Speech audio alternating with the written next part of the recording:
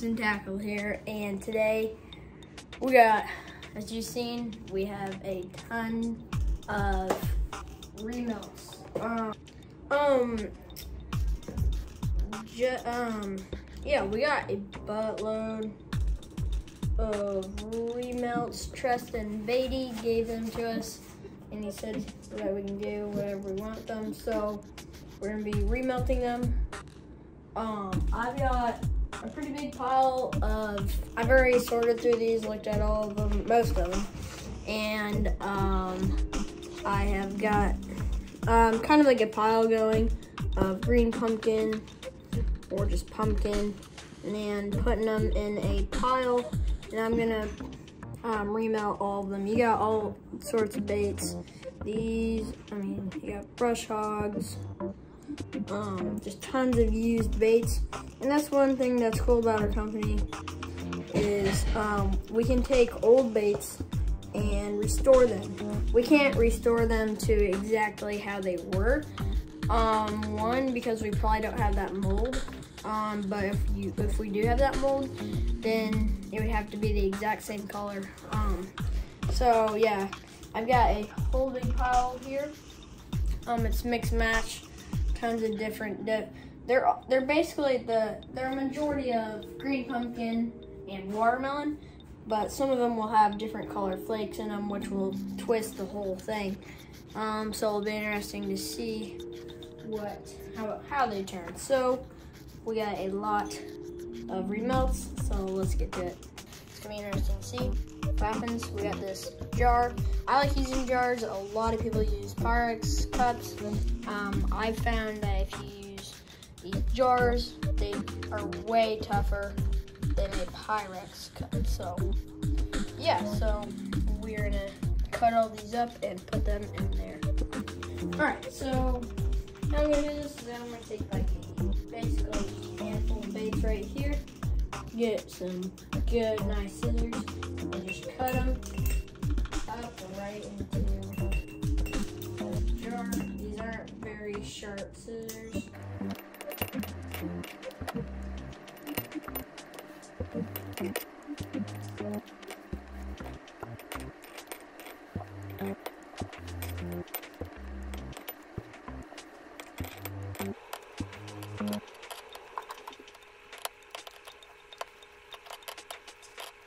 Alright, so I got a boatload of green pumpkin cut up baits and um, a lot of different flake colors, a lot of colors. It's be interesting to see what it turns out. So, pop them in the microwave. This is a different microwave than what we have. We have two microwaves right now, um, and this one is the one that Titus runs. So, I don't run this one. I don't run this one very often. But I guess I'm gonna do today. So two minutes, 30 seconds. And um, it's gonna get, it will get a little bit smaller than what it was just because it'll turn into liquid. Right now it's a solid, it'll turn into liquid, so it will get a little bit thinner, but I think I'll just get the, I think I want to turn these into some night crawlers. I'll probably turn them into night crawlers and couple different baits. A couple other surprise baits, so we'll see. Alright, so this is the first time opening it. see what we got here. Doesn't really look like much happened. I gotta get my gloves on before I pull it out. Doesn't really look like much. Okay, hopefully this is a little bit better of an angle. But I got my glove on. And you, if you can hear that, that's totally normal. Um, you're definitely gonna hear that. I'm gonna cut up some more and put in there because it's shrinking more than I thought. Um, but there's gonna be tons of air bubbles because of the water. It does not really like, um, it don't really like water. I guess you could say it gets a lot of air bubbles whenever it hits whenever you try, whenever you have your bait in water and then you try to reheat it, there's definitely gonna be a lot of bubbles, and um, it's definitely it'll be okay. You don't you want to try your best to get the bubbles out, um, or you have a lot of air pockets. But other than that, most of the time. So let's this back in the microwave. Alrighty. Put it in there for, oh wow, okay. I guess I got it a little bit too high. Put a little too many baits in it. It's shrinking a little bit. Actually, actually looks good, okay. Oh yeah, that's gonna be fine. I'm not gonna try to show the color too much. I'm gonna save that, but, um, definitely a lot of air bubbles, so I'm gonna work on it. So I'm just gonna try to get my do my best to get the air bubbles out. So I'll get back to you whenever I can get most of the air bubbles out and injecting. Okay, don't know if you can see it, but it is coming over the top, kind of like a volcano. That's not what I wanted. Okay. Guessing the air bubbles just kept rising and rising and rising, and it brung the soft plastic with it. Yeah, because we really don't have that much in there. But it is time to inject. So yeah, I'm gonna do that. All right, got this big injector. Come here and inject. Hopefully we don't have tons of air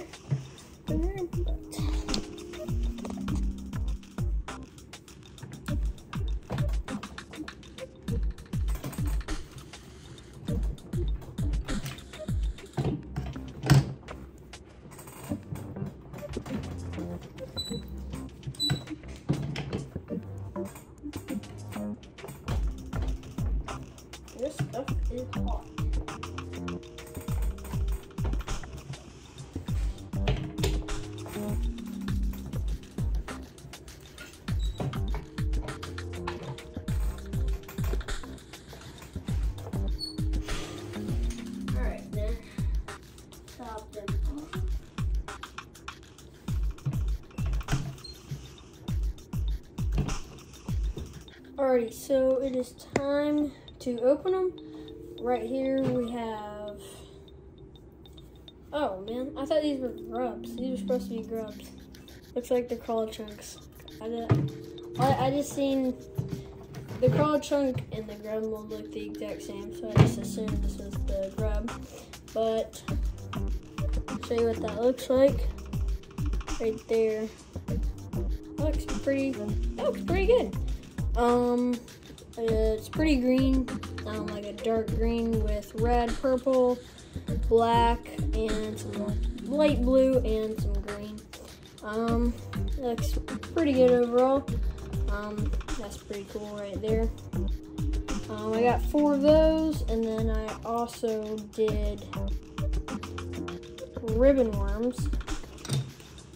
And I think these look pretty cool them there look really, really cool. Made two of them. And then I also did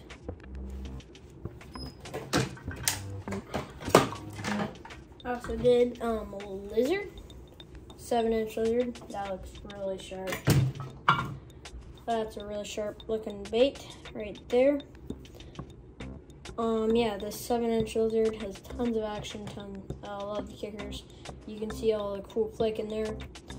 Um, and then we have 3.5 inch swim baits. These things look really cool.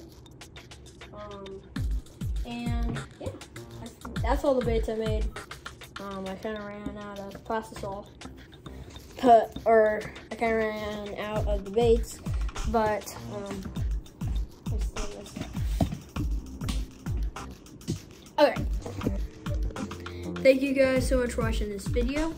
Um, one thing that I think we're going to do is, um, you can go to our Facebook page and say if you, and just tell us, um, message us through, oh, whoa, whoa, whoa. Yeah, see this. These things, I didn't even think about that, but with the salt in them, they actually sink. They're at the bottom of the water. All of our baits that we make with our plastisol float. So these are gonna have tons of salt in them. That's crazy. Well, let me put them in a bigger tub here. Move them over to mine. Ty's is a little tub, mine's bigger. But I don't know that these things sink. They're at the bottom right now. I had no idea they sink. Okay, that's cool though. Okay, so I hope you enjoyed this video. If you did, please like and subscribe. Um, and if you guys like want these baits, um, I think, so what we're gonna do is um, you can message us through our Facebook page, Thompson Tackle, our Thompson Tackle Facebook page, and tell us, you can order um, all of, you can order any of our baits through there, just tell us what you want. Um, if you if you don't know what we have and you want to look at them, you can go to curtainrage.com forward slash Thompson Tackle. Wait, no, sorry, curtainrage forward slash Thompson Tackle. I think it's like a dot com. And then you can you can check out our website and look at all the baits. And then if you want to order, you can go to um, our Thompson Tackle Facebook page and message us. But what we're gonna do is we're gonna make packs using um, this type of um, this type of plastisol. Um, these type of baits are made of exactly how I just did them, remelts. So I'm pro I'm gonna make a pack of these, finish out these 3.5 inches. I'll finish out these ribbon worms hopefully. I'll, yeah, I'll finish out the ribbon worms and these, and if you want them, um, you can go, like I said, to message through our Facebook page, and we will sell them for three bucks instead of five because they are um, a remelt. So yeah, if you want to get these, um, I'm only gonna do them in the. I'm only gonna do this color in the three point five inch swim baits and in the seven inch ribbon worms. That way I have enough to make, that way I have enough to make a pack for you. And then you can, again, just text us that you want them through our Facebook page, Thompson Tackle. So yeah, thank you guys so much for watching this video. Please like, subscribe, and see you later.